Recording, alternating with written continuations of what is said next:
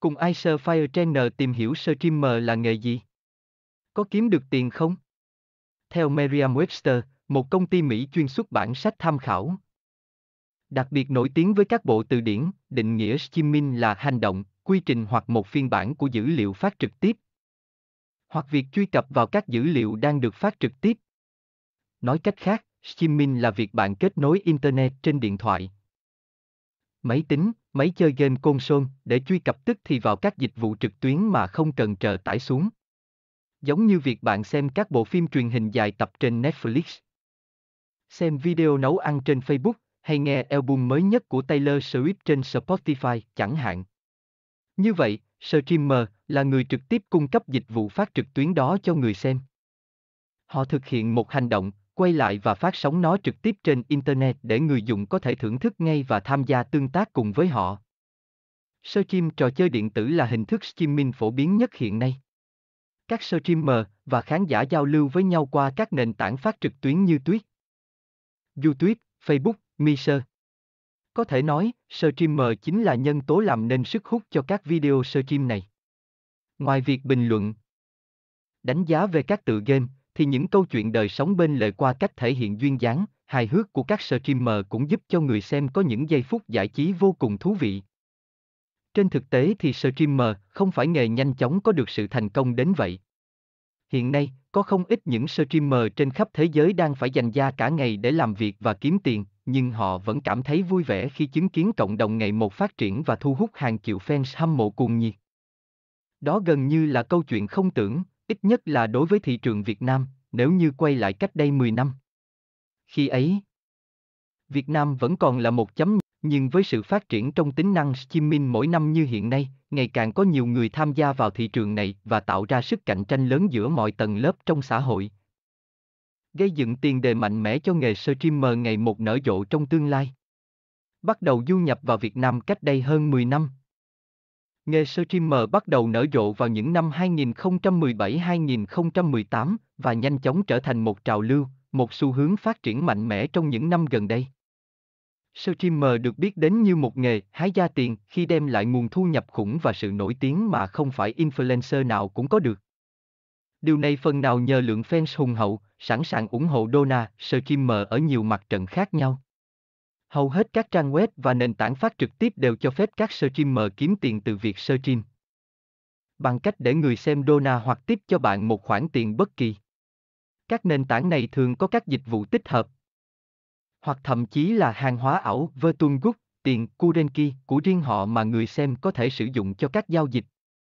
Dưới đây là bản phân tích về những dịch vụ mà một số nền tảng chính sử dụng. Dịch vụ tiếp chính của YouTube là SuperChat. Người xem có thể sử dụng các mẹo để ghim tin nhắn của người xem trong cửa sổ trò chuyện của kênh để dễ nhìn thấy hơn. YouTube cũng cho phép người dùng mua bộ hoặc ảnh trò chuyện Art Animation có tên là Super Sticker và bạn sẽ được giảm giá mỗi lần mua. Tweet cho phép người xem cổ vũ các streamer bằng cách sử dụng biết một công cụ ảo của nền tảng. Nếu bạn là chi nhánh hoặc đối tác của Tweet, bạn sẽ nhận được khoảng 0,01 đô la Mỹ cho mỗi biết người xem bỏ ra khi cổ vũ. Người xem có thể viết một tin nhắn kèm một biểu tượng cảm xúc đặc biệt. Còn gọi là Chimote. Dịch vụ kiếm tiền của Facebook xoay quanh việc người xem có thể tặng sao, star cho các streamer. Người dùng sẽ mua sao và tặng cho các streamer. Theo đó, mỗi sao nhận được, streamer sẽ nhận được khoản tiền là 0,01 đô la Mỹ. Bạn cần phải tham gia chương trình nâng cấp của Facebook để bật chế độ sao. Theo đó, để mua 95 sao người dùng phải trả 45.000 đồng, 1,99 đô la Mỹ, 250 sao với giá 109.000 đồng, 4,99 đô la Mỹ, 530 sao với 219.000 đồng, 9 99 đô la Mỹ và hơn 2 triệu đồng, 99,99 đô la Mỹ cho 6.400 sao. Bản giá sao này được Facebook áp dụng rộng rãi và không phân biệt khu vực địa lý. User có một hệ thống mà người xem tích lũy Spark thông qua việc xem các stream và sử dụng Spark đó cho phần kỹ năng mua các hoạt ảnh, animation và ảnh GIF từ streamer.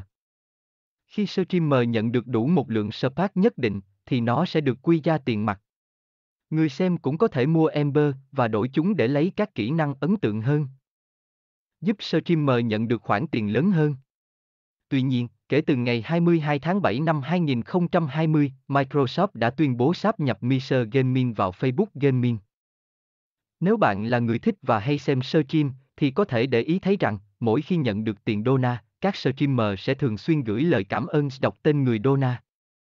Đó như là một cách thể hiện sự cảm ơn sâu sắc từ các streamer. Với những khoản Dona khủng, các streamer còn cắt hẳn một clip riêng đăng lên YouTube để cảm ơn và cũng là đánh dấu dấu mốc quan trọng. Kiếm tiền từ những người xem thường xuyên trên nền tảng.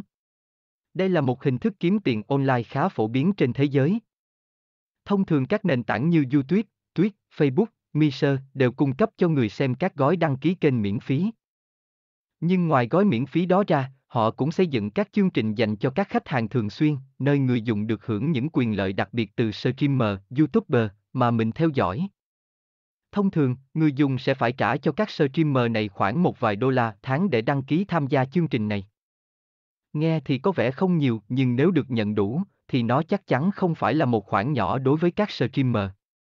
Tuy nhiên, để có thể bật kênh kiếm tiền này, các kênh của streamer cũng phải đạt được những yêu cầu nhất định. Vì các nền tảng vẫn luôn muốn đảm bảo quyền lợi xác đáng cho người xem trung của họ. Dưới đây là cách mà các nền tảng triển khai chương trình này. YouTube xây dựng chương trình thành viên kênh, Channel Membership Program, cho phép người dùng đăng ký tham gia kênh với một khoản phí hàng tháng là 4 99 đô la.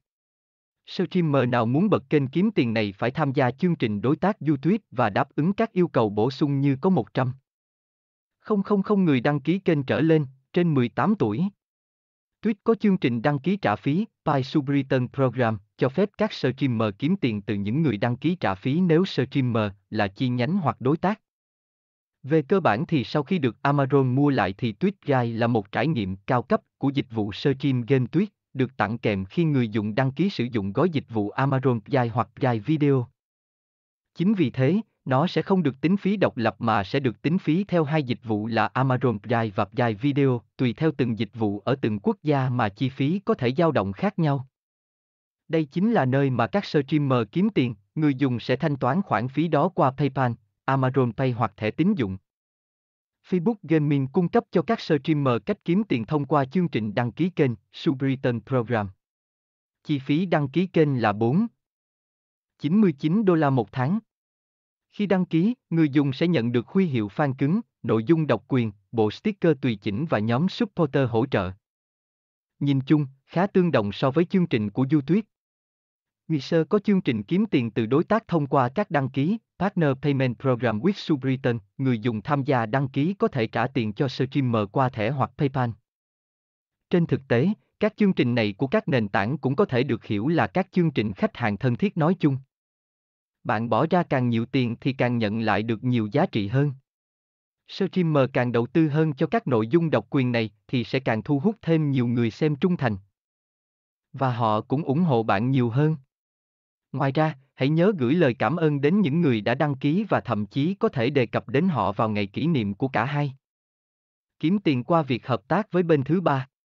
Đây là phương pháp kiếm tiền dành cho các streamer không thích tham gia trực tiếp vào các chương trình mà nền tảng đó cung cấp.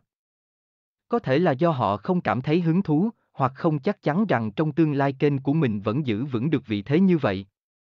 Dù thế nào đi chăng nữa, các streamer ấy cũng thích hoạt động riêng biệt, dễ dàng di chuyển từ nền tảng này sang nền tảng khác hoặc hoạt động trên nhiều nền tảng cùng lúc.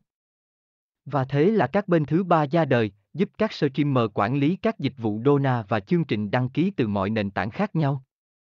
Dưới đây là một số bên phổ biến được các streamer thế giới yêu thích. Streamlabs một ứng dụng tích hợp widget vào các công cụ phát sóng trực tuyến. Rất tuyệt vời dành cho các streamer thích hợp với các chương trình Dona. Streamlabs tích hợp dễ dàng với Twitch, YouTube, Mixer, Facebook Gaming, Pericop và Picato, và nó cung cấp 6 tùy chọn thanh toán khác nhau. Patreon, một hình thức crowdfunding cho phép các streamer có thể nhận được doanh thu từ sự sáng tạo của họ thông qua cộng đồng fans hâm mộ. Patreon chủ yếu hỗ trợ trên nền tảng YouTube và hỗ trợ kiếm tiền thông qua Dona, đăng ký kênh. Với việc nhận được một khoản tài trợ định kỳ hàng tháng, Patreon sẽ là sự lựa chọn phù hợp nhất khi chương trình bật đăng ký kênh kiếm tiền trên YouTube ngày càng phổ biến. GoFund hoặc Kickstarter hỗ trợ kiếm tiền từ việc kêu gọi tài trợ cho một dự án. Nếu các streamer đang có một dự án muốn hoàn thành và đang tìm kiếm nguồn tài trợ, hãy tạo trang trên các website này và stream để quảng bá dự án của bạn. Tại sao nhiều streamer không kiếm tiền từ quảng cáo để hỗ trợ cho hoạt động stream của mình được? Trên thực tế, tiền quảng cáo đã YouTube cho phép quảng cáo đầu video và giữa video, cũng như quảng cáo hiển thị hình ảnh và quảng cáo lớp phủ, overlay ads. Facebook Live cho phép quảng cáo giữa video nếu streamer đáp ứng tiêu chí số lượng người xem. Twitch cho phép quảng cáo in-stream, cũng như các cơ hội quảng cáo hiển thị và native ads. Quảng cáo trong streaming là một chủ đề nóng và thường xuyên gây ra nhiều tranh cãi. Chính vì thế, các streamer phải kiểm soát nhiều nhất có thể với các quảng cáo xuất hiện trong lúc streaming hoặc quảng cáo trên kênh. Ở phía ngược lại, người xem hoàn toàn có thể sử dụng phần mềm chặn quảng cáo để ngăn một số quảng cáo hiển thị. Nói chung, quảng cáo không phải là ý tưởng kiếm tiền đáng được hoan nghênh nhất của streamer. Ít gây tranh cãi hơn các quảng cáo thông thường. Nhận tài trợ hoặc giao dịch với các thương hiệu là một cách khác để bạn có thể kiếm tiền theo một thỏa thuận đôi bên cùng có lợi.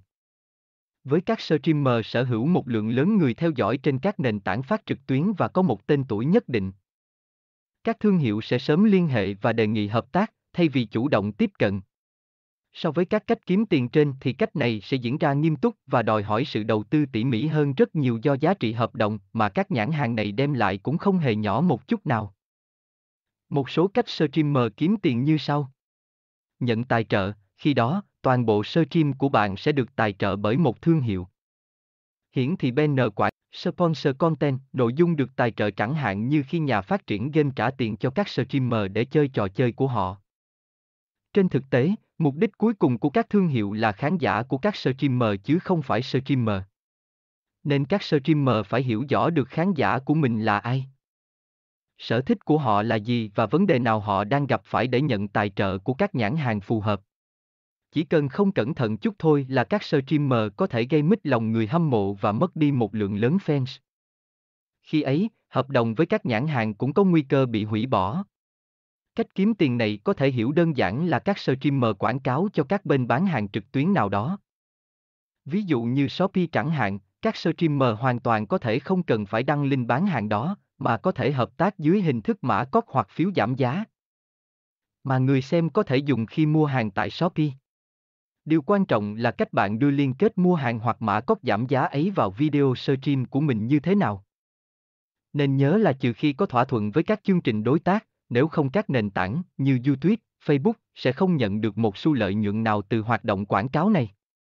Chính vì thế, đừng có đặt vấn đề bán hàng lên trên nội dung chính trong các video stream, nó có thể gây phản tác dụng đấy.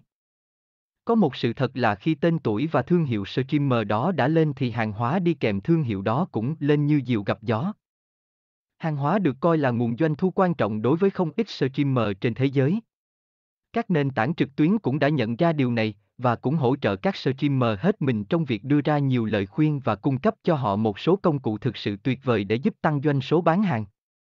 Các sản phẩm có thể bán như áo phông, cốc và thậm chí cả các món đồ chơi sang trọng đều là một lựa chọn tốt. Bạn cũng có thể bán các sản phẩm số như nhạc hoặc sách điện tử. Streamer sẽ tự lên thiết kế, sản xuất, vấn đề kho và vận chuyển. Có một số cách mà các bạn có thể áp dụng như Tạo cửa hàng trực tuyến cho riêng sản phẩm đó, các khâu từ sản xuất, lưu trữ, thiết kế, in ấn, vận chuyển, tất cả đều phải do bạn tự làm.